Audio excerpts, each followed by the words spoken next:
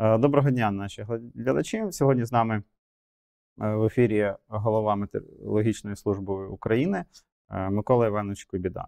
Доброго дня, Микола Івановичу. Доброго дня. Зараз дуже сильно на слуху тема забруднення повітря та його моніторинг, тому що деякі речовини, ми навіть їх не помічаємо, але їх дійсно треба відслідковувати. Гідрометеорологічний центр відомий пересічним громадянам е, зазвичай через прогнози погоди. Але я знаю, що є і багато інших установ в сфері вашої структури, е, які відповідають за моніторинги повітря та інші е, функції. Ви чи не могли б описати більш детально от структуру вашої організації, що ви робите? Дійсно, гідрометеорологічна діяльність вона є дуже багатоплановою. Це не тільки прогнози погоди, це і, е, скажімо, е, оцінка водних ресурсів, е, гідрологічного режиму річок і водосховищ, попередження паводків, попередження селей, лавинної небезпеки, оцінка стану та розвитку сільськогосподарських культур в Україні. Ну і, звичайно, значна частина нашої діяльності це є екологічний моніторинг у різних напрямках і різних е, сферах. Це моніторинг е, стану і якості повітря, е, це моніторинг е, якості поверхневих вод, це моніторинг е, якості е, морських вод, е, ґрунтів, оцінка забруднення е, ґрунтів. Е, Тобто дуже багато всього. І, звичайно, в нашій системі е, цими різними напрямками займаються, звичайно, різні структурні підрозділи.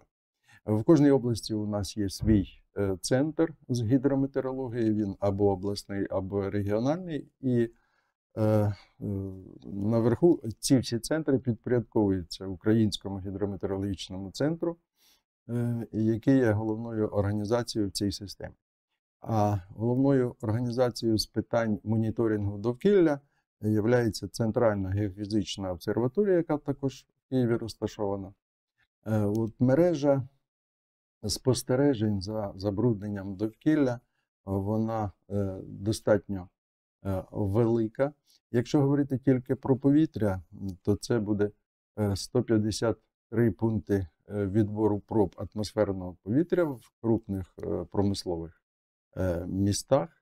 У місті Києві таких пунктів е, 16. Ну а надалі вже йде лабораторний аналіз по близько 20, ну, залежно від специфіки е, кожного міста, е, специфіки забруднення кожного міста. Е, Близько 20 е, різних параметрів визначаємо.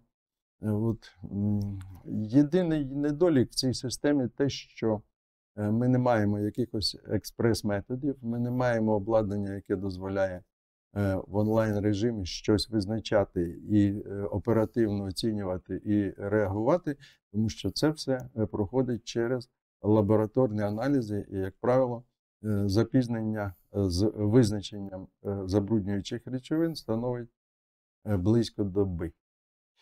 Е, Що стосується е, інших мереж спостережень, то е, близько 350 гідрологічних постів, е, е, на яких відбираються проби води і, і аналізуються.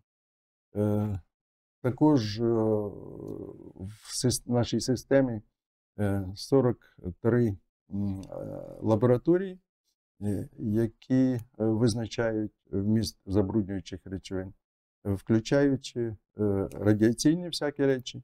Е, Всі метеостанції наші проводять спостереження за радіаційним е, фоном, тобто потужністю е, експозиційної дози. Е, Це робиться в щоденному е, режимі. Інформація надходить знову ж таки, збирається в українському гідрометцентрі, в структурі якого функціонує ще один центр центр прогнозування наслідків радіаційних аварій. Він створений за рахунок коштів Європейського Союзу. От і вже е, два роки він функціонує. І це дозволяє оцінювати е, можливі наслідки радіаційних аварій, розповсюдження радіоактивних елементів в повітрі, в воді.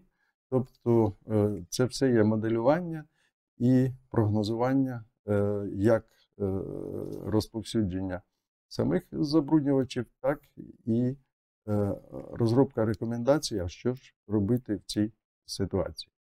Тобто спектр у нас дуже широкий. Окремі структури у нас займаються, наприклад, метеорологічним обслуговуванням польотів цивільної авіації. Дуже значна частина е, нашої діяльності також зосереджена на інформаційному забезпеченні Збройних сил України.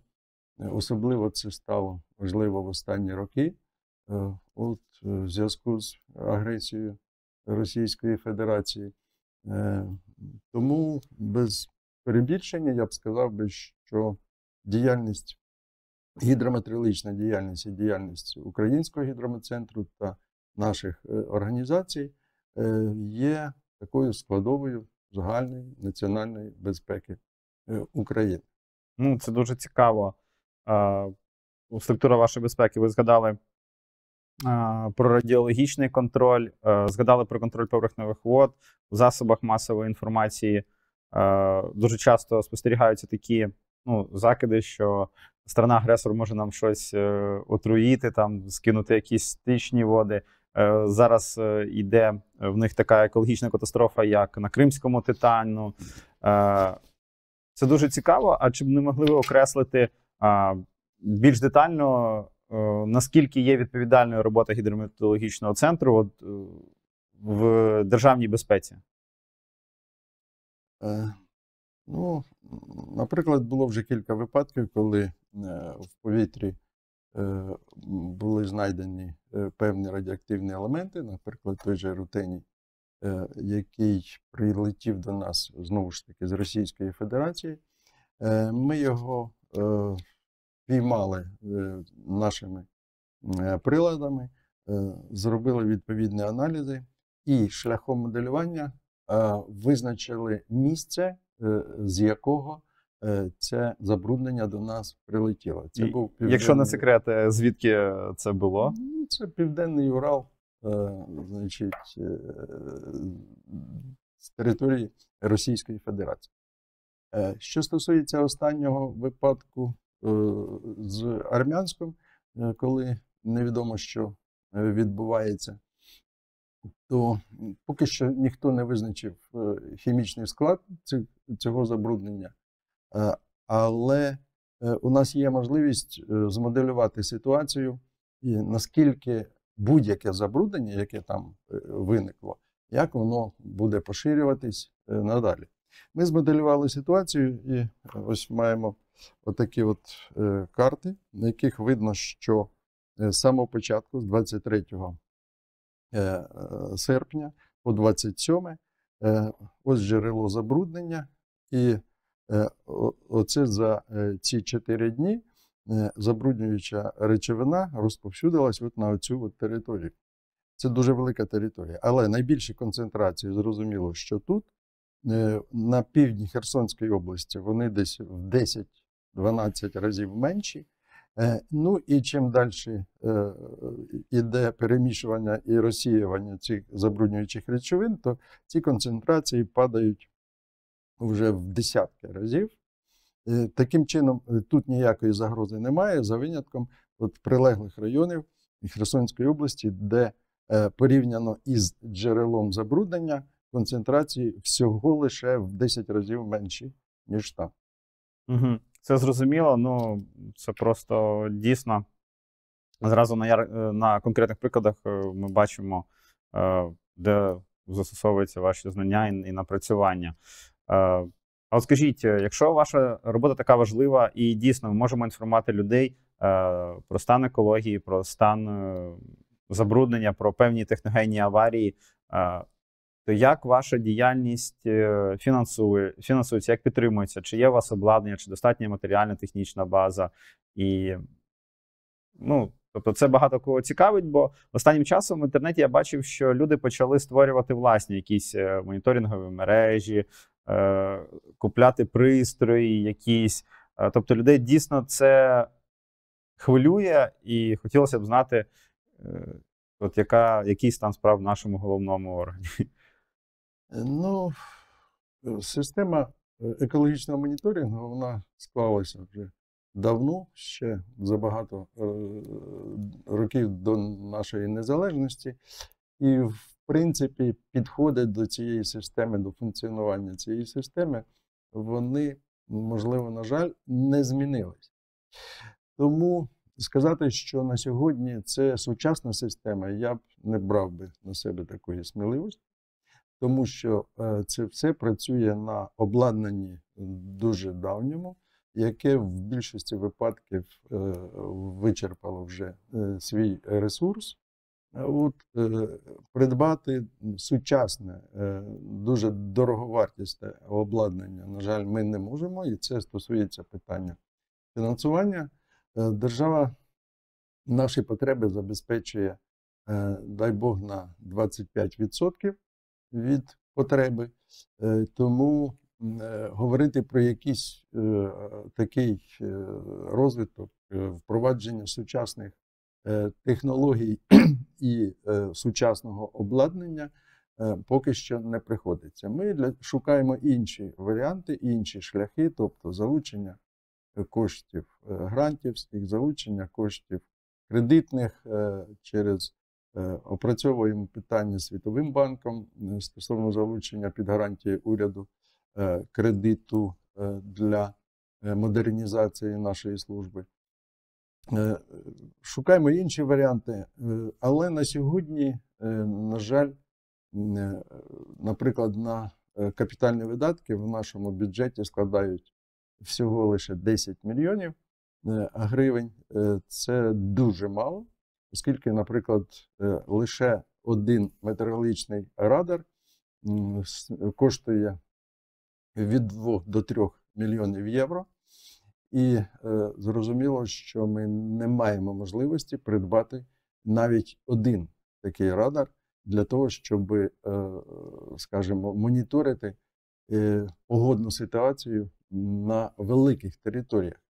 Е, Сьогодні в Україні лише один сучасний радар, такий працює в- аеропорту Бориспіль. Е, Інші е, застарілі системи, які можна вважати, що вони малоефективні. А загалом для покриття всієї території України радарною інформацією, як це робиться, наприклад, в європейських країнах, вся Європа покрита повністю на 100% е, цими радарними спостереженнями то у нас це, на жаль, е, всього менше, ніж третина території, і це дуже е, непокоїть нас, тому що м, радарні спостереження це також основа безпеки, будь-якої безпеки, авіаційної, в сфері цивільного захисту.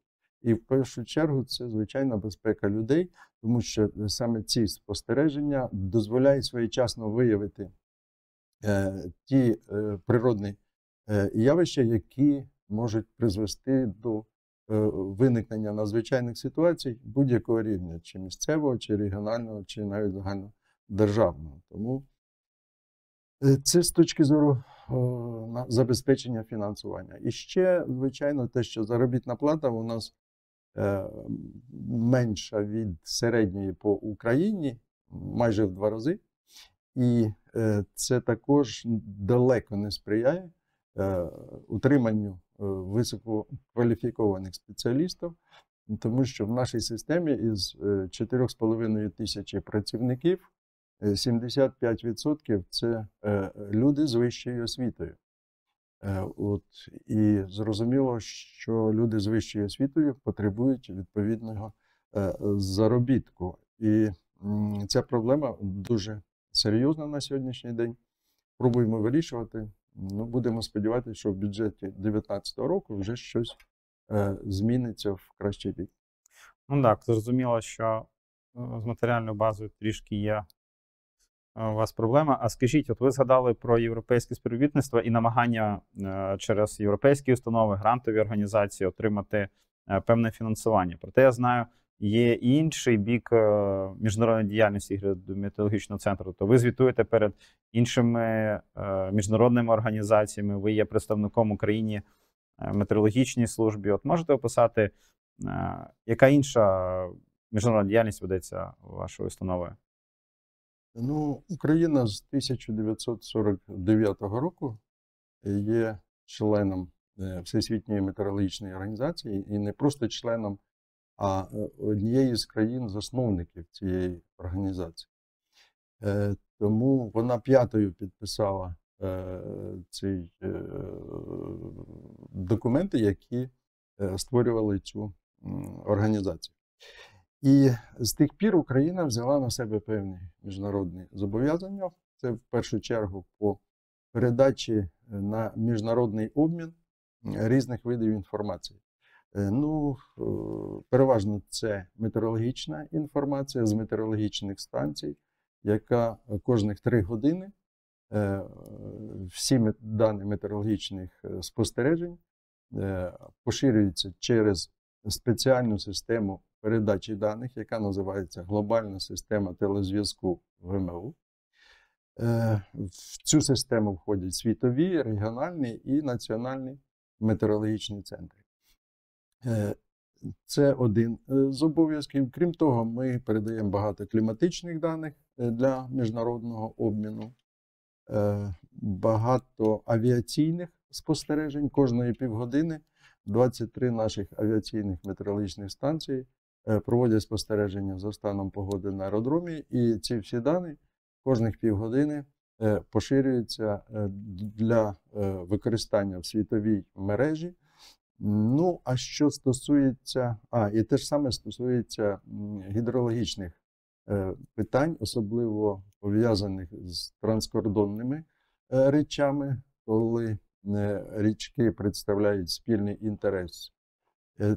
Тому у нас налагоджений обмін практично з усіма сусідами, які оточують Україну. Це Румунія, Угорщина, Польща, Молдова, е, Білорусь, е, такі країни. Ну і е, ми тісно співпрацюємо в рамках консорціуму, який створений країн Південно-Східної Європи. В цей консорціум входить 15 країн, і Україну два роки назад прийняли до цього консорціуму. Ну і тепер у нас е, з'явились певні кращі можливості для інформаційного забезпечення наших е, працівників у різних сферах. Ну, в першу чергу, це погода, це гідрологія, це паводки. От. А що стосується екологічних питань, то е, міжнародна діяльність тут в основному замкнена на Міністерство екології та природних ресурсів. І вон, це досить така якась не зовсім, як для мене, зрозуміла замкнута структура, яка не, не дозволяє і не залучає е, інших суб'єктів екологічного моніторингу до е, цієї міжнародної діяльності. Тому ми все е, в цьому напрямку співпрацюємо самостійно. От вже другий рік ми тісно контактуємо із е, Фінською метеорологічним інститутом і е, фірмою фінською Вайсала по виробництву приладів та обладнання. Е, Зараз розробляється проєкт якраз такого буде пілотний проєкт по місту Києву. Коли з'явиться можливість встановлення в місті Києві кількох таких автоматизованих систем для е, спостереження за якістю повітря, і це е, суттєво покращить наші можливості для аналізу і своєчасного попередження наших громадян про, е, скажімо, високі рівні забруднення повітря по, ну, по, той, по, той, по, тій, е, по тому мінімуму е, е, інгредієнтів, які е, можливі визначати в автоматичному режимі. Зрозуміло. Е, ми з вами так гарно порозмовляли про такий державний рівень вашої діяльності, але кожній людині цікаво, е, як відобразиться от знання чи незнання певної інформації особисто на неї. Тобто ви маєте багаторічний досвід е, спостережень за станом повітря, за станом екології. Скажіть, от взагалі, як змінилося повітря в наших містах, в нашій державі, от, наприклад, ну хоча б е, з моменту її незалежності? Ну, зрозуміло, що базовий рівень, від якого відраховується, е, скажімо, стан, е, екологічний стан, це, звичайно, доіндустріальний, скажімо так, період. Це 90-ті, е, е, це 90-ті роки, і якщо е, порівняти е, той стан е, забруднення, і не тільки повітря, а й довкілля загалом, і нинішній, то як не дивно, е, ми маємо певне покращення в цьому, тому що е, за рахунок, звичайно, зменшення промислових викидів, як в атмосферу, так і в інші середовища. Е, От. Але дуже турбує, що в е, крупних містах ми спостерігаємо суттєве зростання е, забруднення, пов'язане із викидами автотранспорту.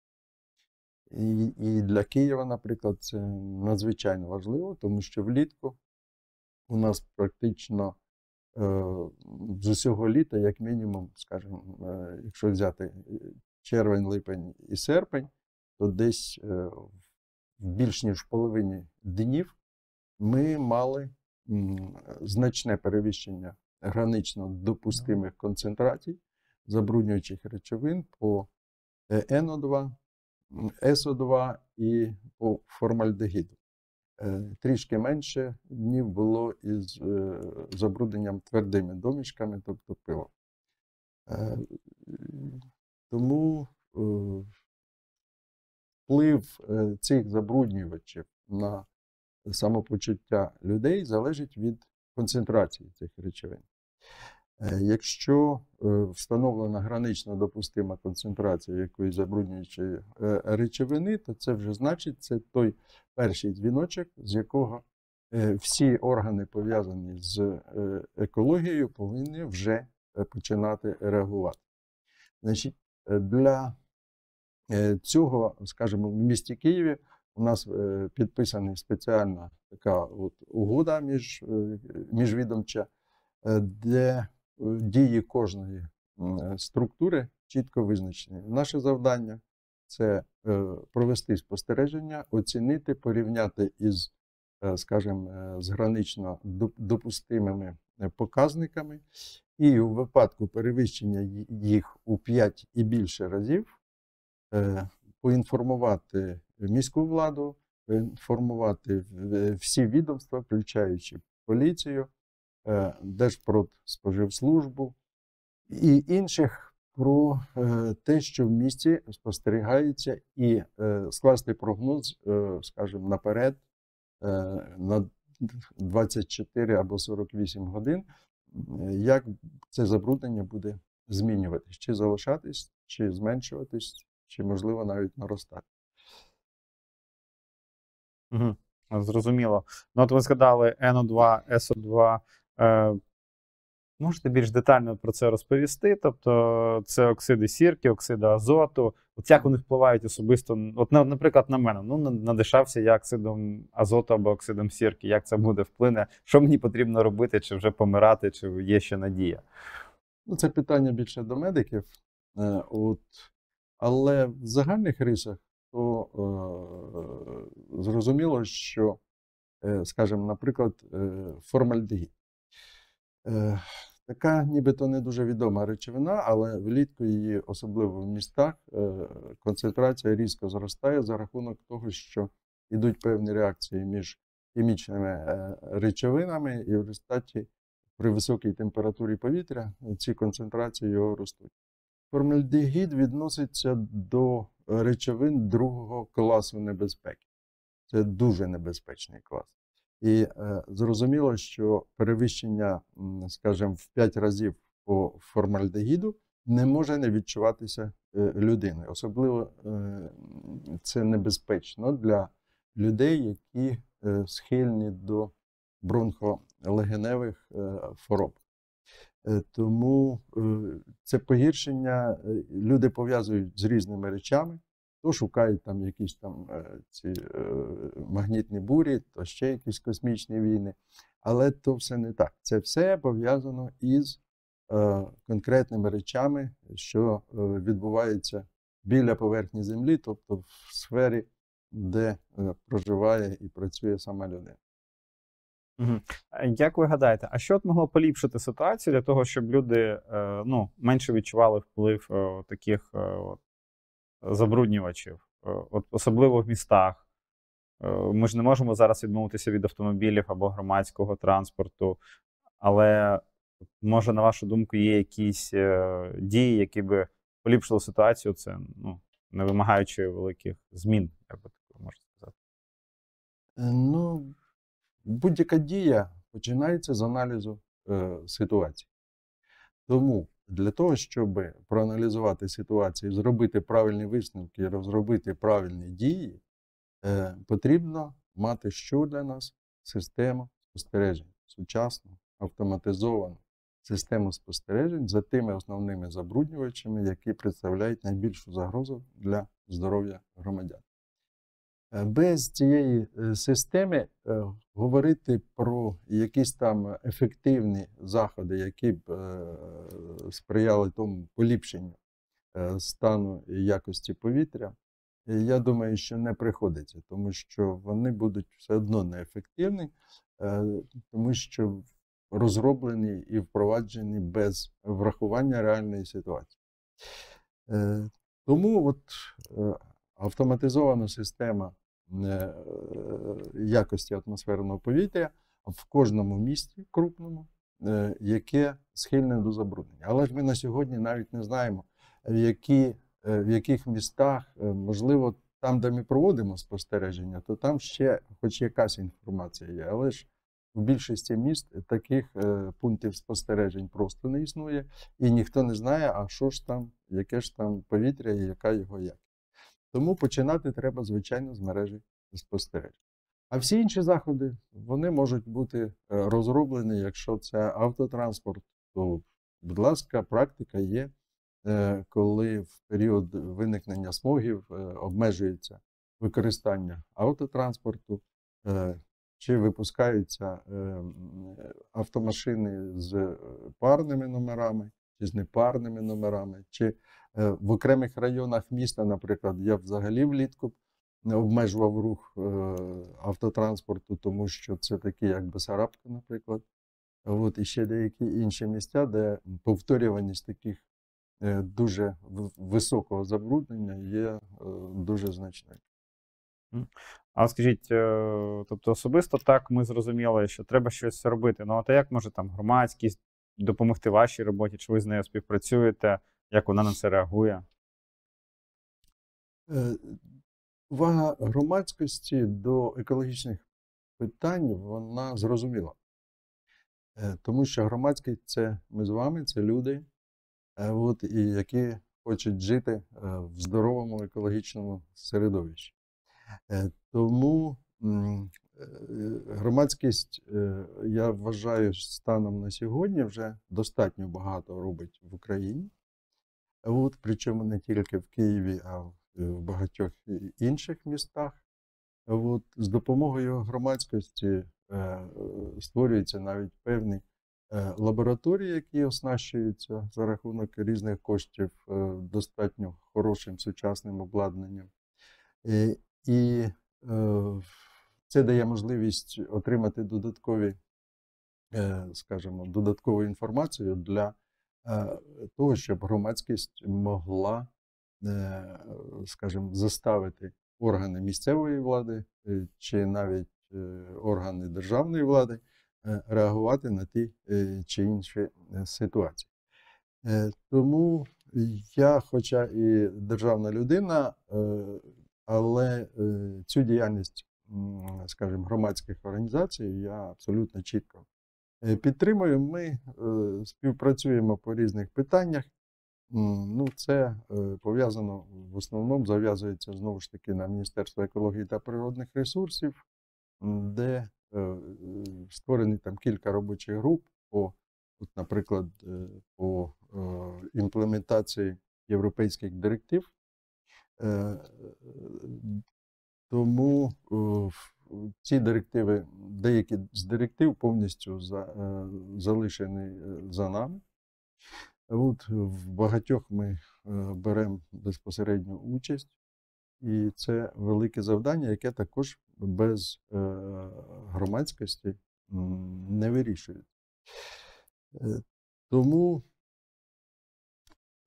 громадськість, на мій погляд, не повинна пропускати жодних випадків, які мають хоч трохи резонансний такий характер, і розбиратися в кожному випадку і заставляти тих е, е, посадових осіб і е, структури, і організації, які відповідають, заставляти буквально їх е, реагувати і е, вживати тих заходів, тобто, можна сказати, навіть просто виконувати свої функції. Дякую вам за увагу. Сподіваюся, до нових зустрічей.